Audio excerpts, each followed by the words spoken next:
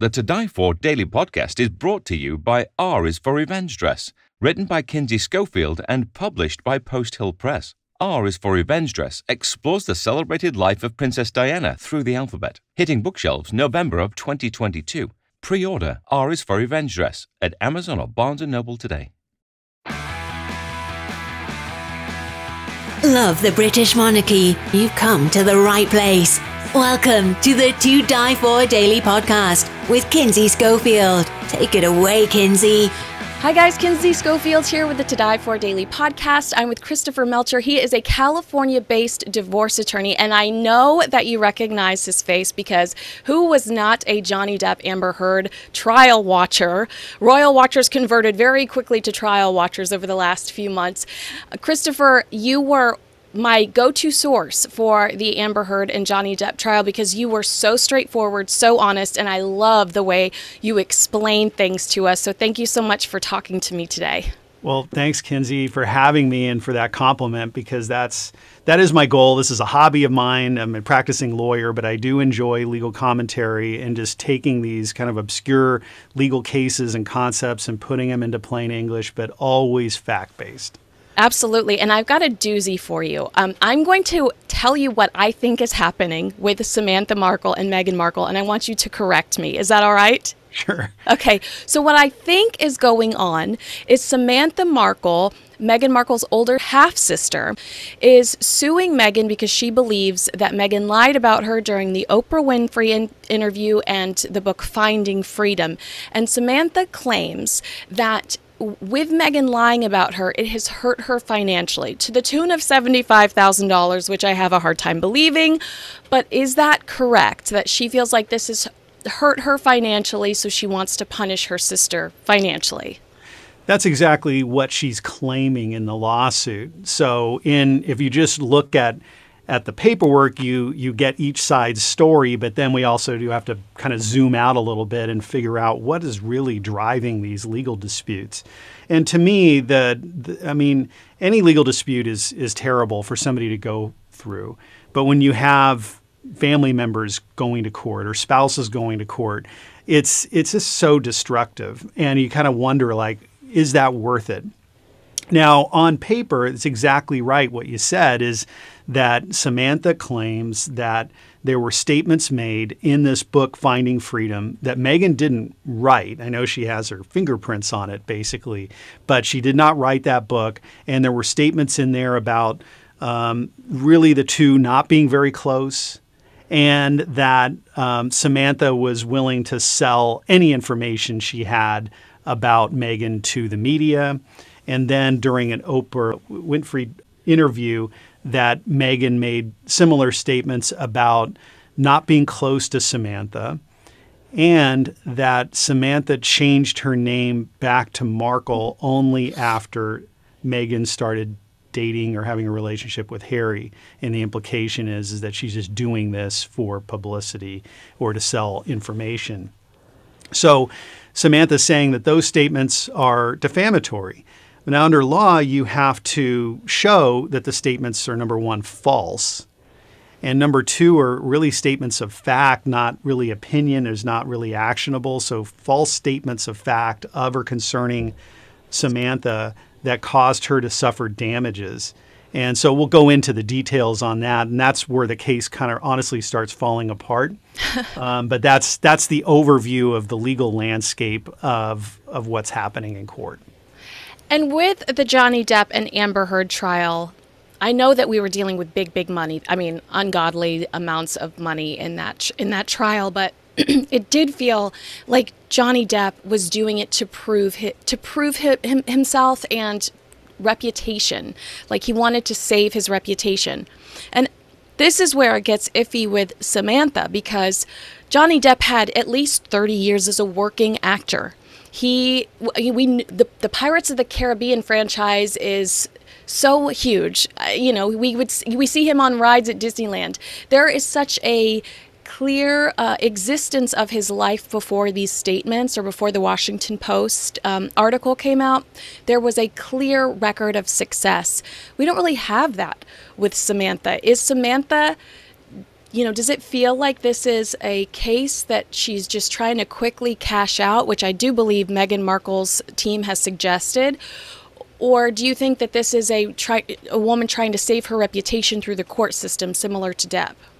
Well, that's I think how Samantha wants to portray herself. Well, that her her narrative is is that I am this stepsister that is hurt by Meghan's attempt to recast history and to basically harming my reputation so that this information that I've been sharing about her won't be deemed credible.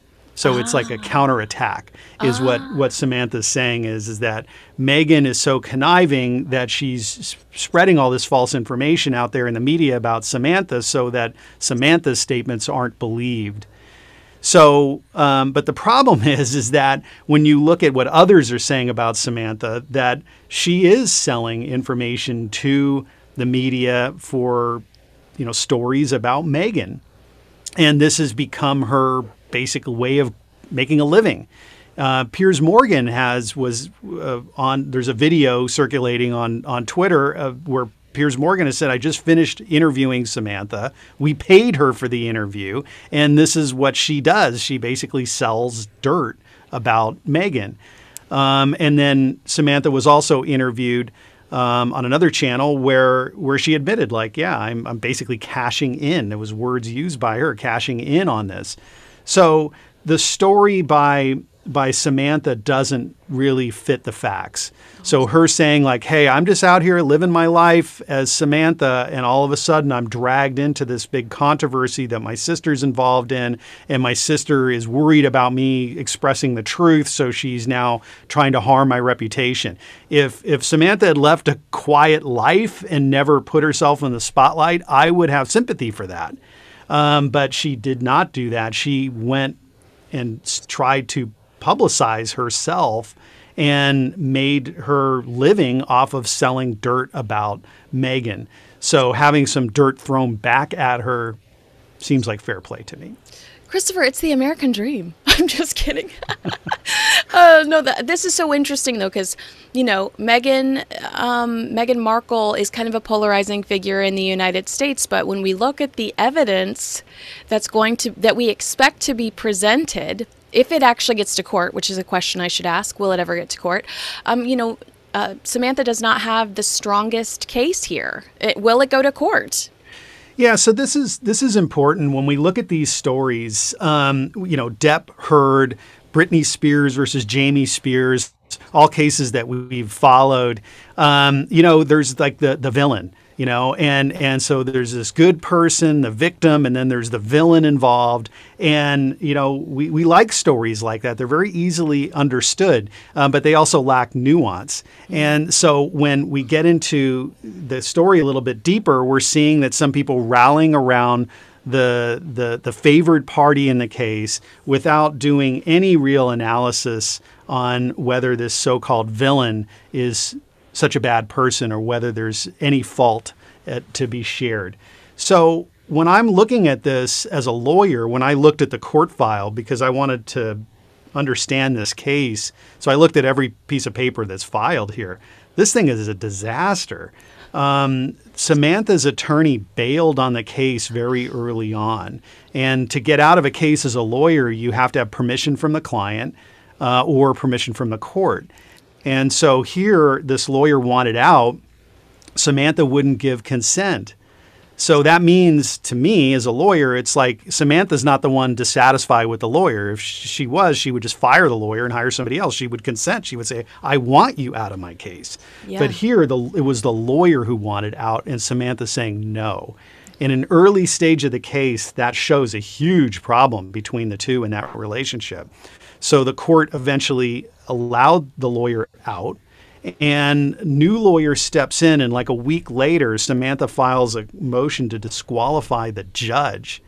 and so that tells me that was probably the source of the conflict. This first lawyer saying, I'm not doing that. Wow. And so the second lawyer does. And the basis of the motion is, is that the this is a federal judge appointed by President Obama 13 years earlier could not be impartial in the case because Meghan and Harry had been photographed with the Obamas, and so they have some kind of relationship. Now, I guess Wait, on can- its can I- face, you might can think I like, quickly interrupt you? But Yeah. didn't, didn't that same judge refuse to throw out the case when Meghan Markle requested earlier to have the case tossed? So, so, you know, it looked kind of like the judge was siding with Samantha initially. So why would you go and then try to have that person tossed? It, it's it's insane, okay? Because you know, even though I can understand, you know, in a very attenuated way, like okay, Obama appointed this judge, and Obama knows Meghan, that maybe there would be some concerns there, but you have to have the goods. If you go after the judge, you got you better win because Yeah. if you misfire and the judge rejects it, you're done. You're done for. So that's why no no rational attorney would would say like we're going to attack the judge unless you're pretty sure you're going to get win this disqualification. So the judge responded as he was required to and saying like, "Look, I've never met Obama. Yeah, the guy appointed me 13 years ago, but I've never met the man. I have nothing to do with them. It, it makes no difference at all to me, and no no reasonable person looking at this would think that I'm going to be influenced by it and denied it."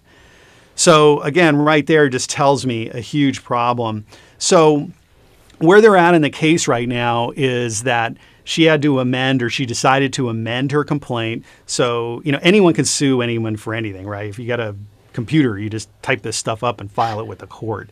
So she's on round two and she's refined her allegations. And Meghan is saying that these allegations are not sufficient. Even if they were true, even if this whole story that Samantha is saying is true, it does not amount to a legal case because the statements, number one, mostly were not even made by Meghan, were made by the authors of this mm. book, which we're going to talk about in a minute. So she's disavowing any of the statements other than one she made on Oprah.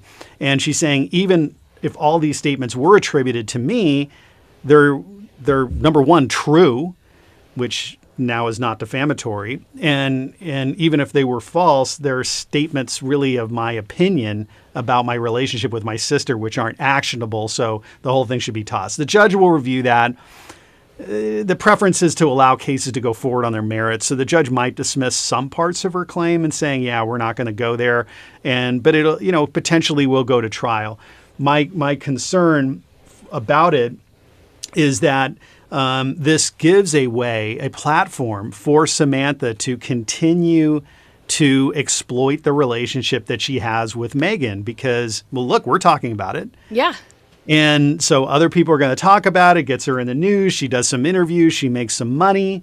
She can also use the power of the court to subpoena information. And she already has some good emails that we'll talk about that are attached to this complaint. So she can use that to extract information from Meghan and then publicize that and sell that. So I kind of went back to your question, which was, seems like a long time ago. Um, what what's driving this? I don't think it's the 75 grand that she claims she's out. I think it's her way of keeping relevant and to have information that she can sell to the media about Meghan. Well, in relation to what you just said, I did see Prince Harry mentioned in the documents. Can she pull him in? Can he be? Can he be questioned, or um, can he? Would he be put on the stand? That's really. That's a really scary thought to think about. Yeah, he, can. Uh, I mean, this is a United States action, and Harry is in the U.S. and he, if he has information that's relevant to these allegations, he can be brought into it. Um, there were emails, and so this that that are that are relevant here and and make Meghan look bad. And so one criticism I do have for Meghan here is the way that she has portrayed this book, Finding Freedom, as Yes. having nothing to do with her. Their whole case, if you read her legal papers, is like, hey, that book was not written by me. I know my sis- half sister Samantha was mentioned in the book. There's a whole chapter about her, actually. Yeah. Um, but I didn't write the book. So if you got a problem, go to the authors, not me. Well, the problem is, is that there's email communications. Um, it was her assistant, and I'm drawing a blank on the gentleman's name, but he's he's It's Jason a, something. I re- yeah, Jason. Yeah. yeah, Kauf or something like that. And he's Yeah. got quite a bit of attention that he was the assistant here to Meghan and um, that Meghan had told her assistant, like, hey, I know this book's being written, I want to make sure that they have the proper background and messaging here that I want to get out. Mm-hmm. And there's parts about the sister. And so she, Meghan writes that, sends it to the assistant, and the assistant sends it to the author. And I believe that Harry had emailed saying, yes, this is something that we want out there.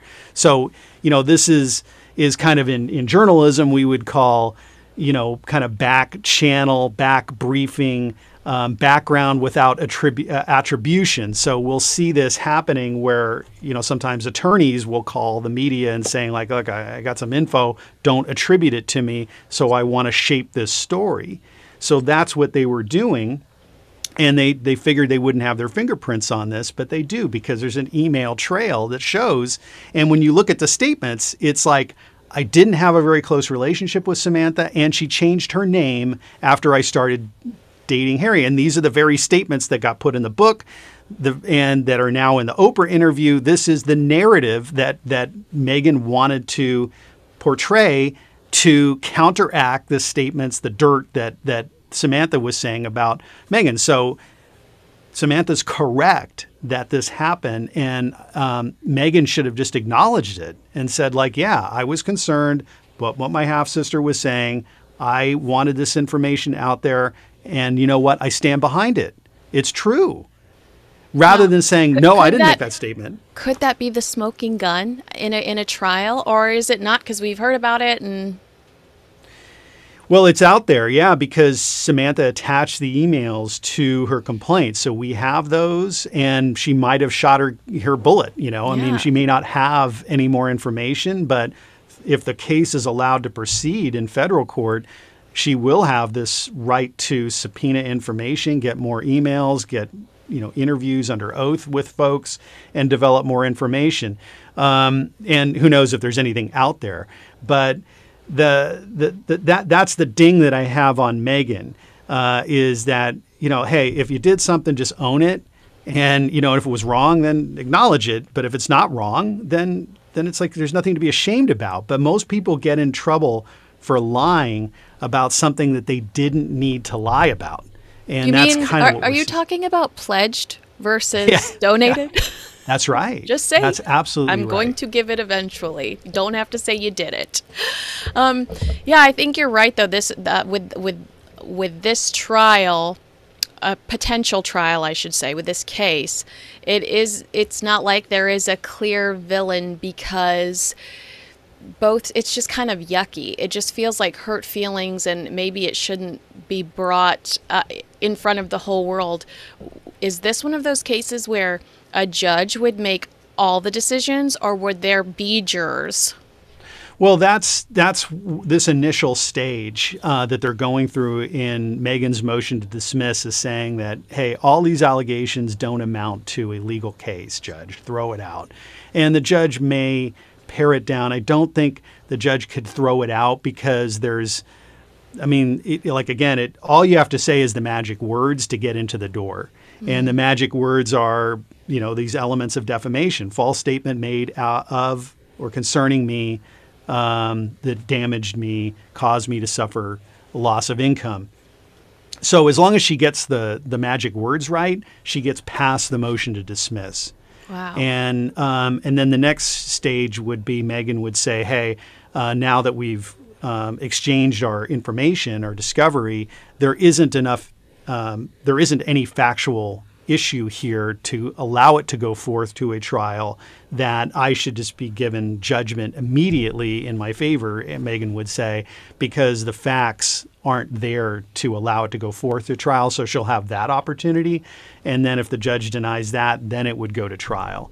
But um, I, I, think that the, the Samantha is probably in no hurry to get to trial because she likely would lose there. And the longer the case goes on, the more information she can try and develop and, and use this to keep in media attention. Wow. Um, yeah, so uh, I'm just wondering. It sounds to me like you're saying there is no reason for Meghan Markle's camp to even remotely consider pay, settling or paying for this to go away. Yeah, that, that's that's right. If you just look at it as a legal case, it's extraordinarily weak. I don't think that um, Samantha will prevail here. And um, I think that the appetite of paying her anything would be very low. Now, sometimes people will enter into a settlement um, because they want something else, like maybe for her to stop talking. And uh, so that could be a reason to settle is some kind of payment to um, have Samantha stop talking. But I don't see that that's really indicated here because whatever Samantha had to say, she has said now multiple times. And she's even said some things that have been untrue about Meghan. So that there's not like there's anything that they're holding on to that Samantha's holding on to that could be revealed that's worth paying for silence. The only reason that that I would think Meghan would have to settle is if there is information out there that would be obtained through subpoenas, emails that would be leaked that they don't want out there. That may cause a reason for settlement, um, but only they would know if that information is out there. And again, I'm just reiterating what you said evidence wise, there is not enough for Samantha to win this case.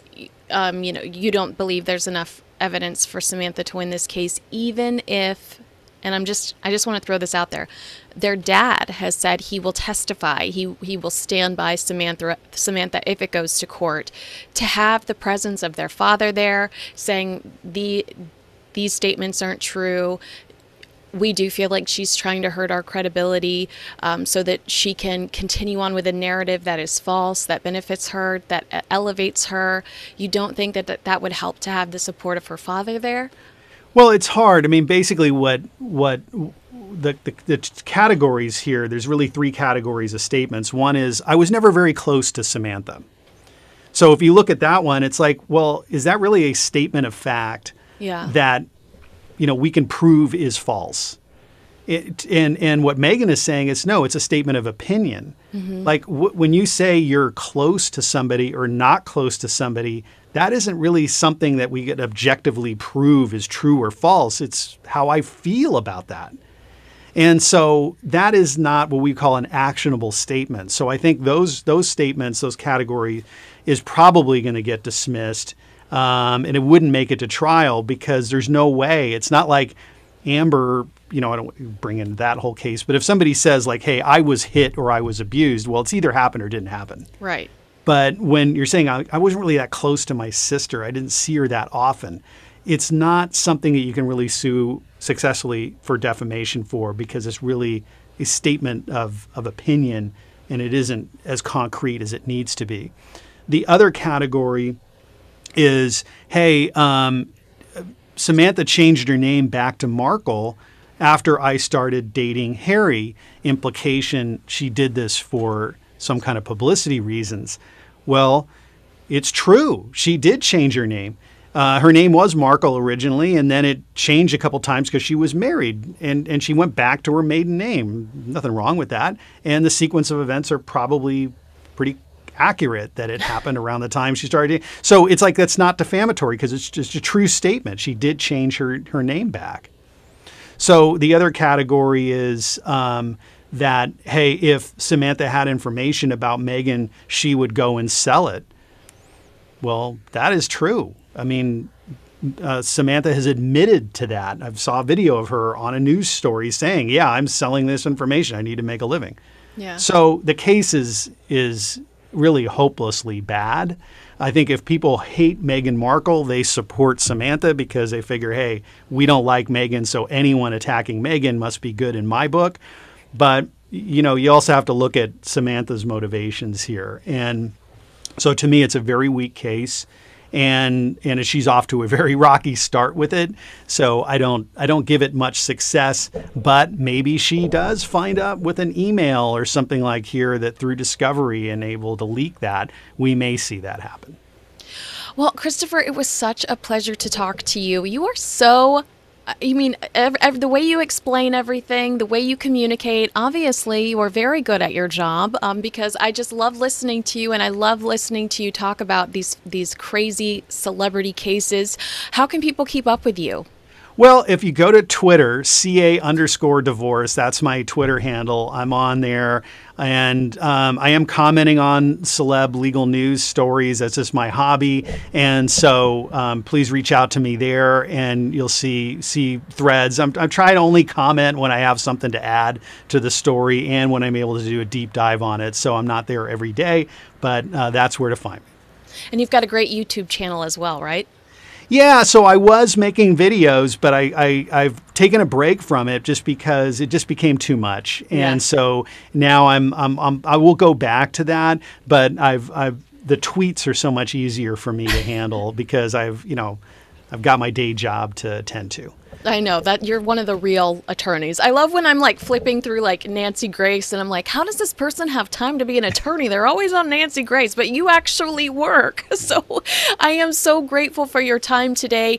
Um, you are a, a, joy to speak to, and I, I look forward to following what you do next because you really are so well spoken, and I really enjoy your commentary. So thank you so much for your time today, sir.